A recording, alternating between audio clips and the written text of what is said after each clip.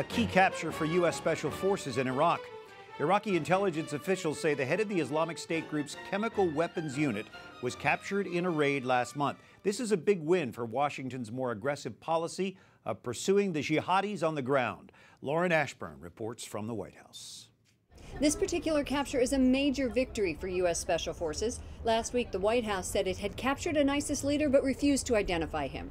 And now defense officials say that his capture led to the bombing of two chemical weapons facilities. In December, the Obama administration deployed a commando force charged with capturing and killing ISIS leaders in Iraq. It was part of a new strategy to degrade and defeat ISIS.